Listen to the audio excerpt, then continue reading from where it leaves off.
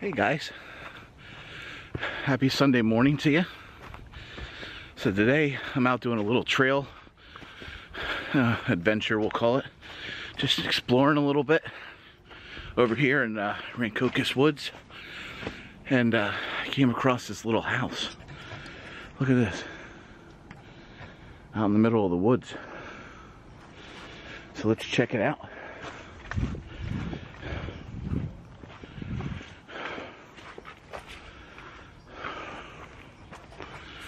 You guys think? Pretty neat, huh?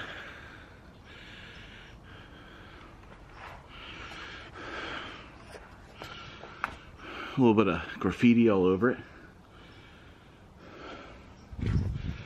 Let's explore a little bit here.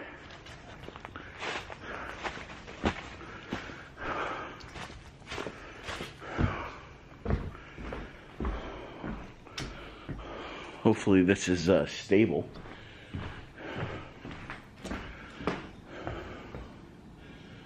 Pretty neat though. I like coming across things in the woods. Keeps things interesting, you know? So, today we're actually out doing a little bit of trail running, trying out the uh, Inov-8 X-Talon Ultra 260s. I've actually had these for a little while, just haven't run in them because I haven't really had a uh, place to go running them. So today we're trying those bad boys out.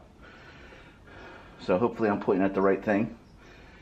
So, but we'll uh, we'll check back here in a little bit.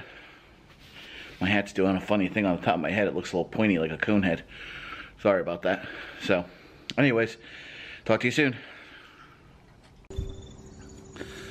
Hey guys, we're back. Just thought I'd show you guys a little view of the lake or the river or creek, whatever it is. I like uh, I like running around bodies of water. But so just check it in. I'll be back. So live first impressions, I'll tell you, these Inov-8s have, uh, I'll have to double check when I get back to the house, but either six or eight millimeter lugs.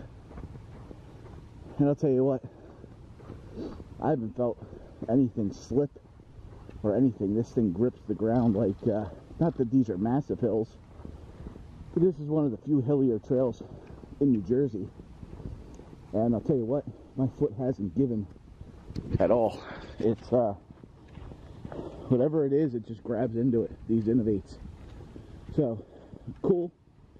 Again, not overall impressions, but just some first impressions of what I've experienced so far. So, I'll be back.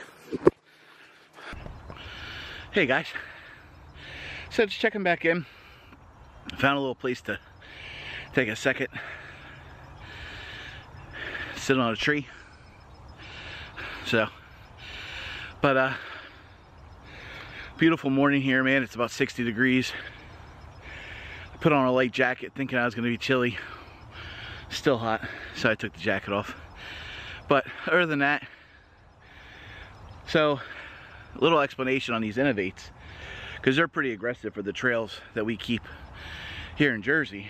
But I grabbed them because I also like to do Spartan races.